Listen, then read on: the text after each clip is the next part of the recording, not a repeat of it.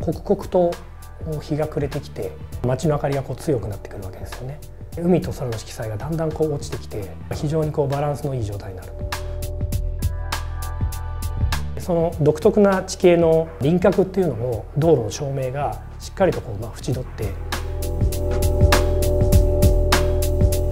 今回は南半球のまあ2つの国ニュージーランドとオーストラリアに行ったんですけれどもニュージーランドのマンガヌイという町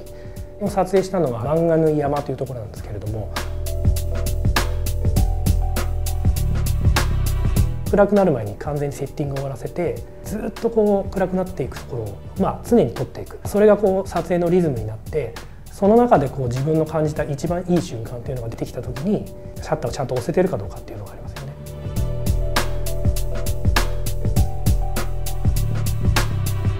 夜の入り口という時間帯から撮っていく中でその風景が夜景に生まれ変わる瞬間というものを体感できた時とてもこう気分を高揚します。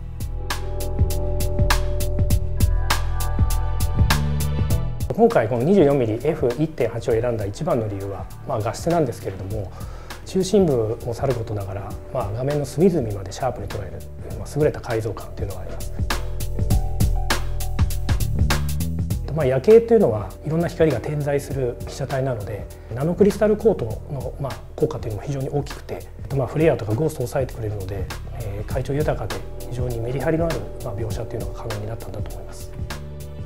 まあ、海外の撮影ということもあってできるだけこう荷物を軽くしたいというのがあって、えー、まあ軽量でコンパクトで機動性が非常にいいというところも選んだ理由の一つです。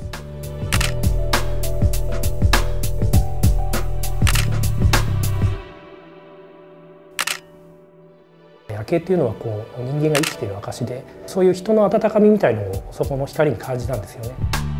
まだまだ世界中にたくさんのこういう光ある風景があるんだなと思ってもうできるだけそういう風景をですね、まあ、見てみたい撮ってみたいというふうに思っています。